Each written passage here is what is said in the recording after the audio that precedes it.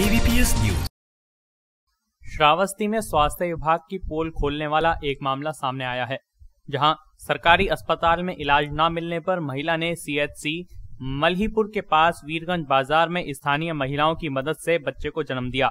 आपको बता दें कि यह महिला दो दिन से सरकारी अस्पताल के चक्कर काट रही थी, लेकिन अस्पताल कर्मचारियों द्वारा इसे कोई उपचार नहीं दिया गया, जिसको लेकर परिजनों ने भी अस्पताल प्रशासन पर लापरवाही के आरोप लगाए हैं।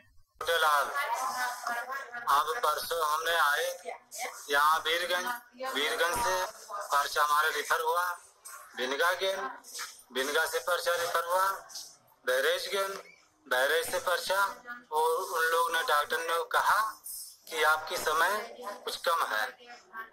तो समय कम है के नाता? हमने वापस घर को लौट गए। घर को लौट गए, फिर उसके तीसरे दिन आए जमुना अस्पताल में दिखाए।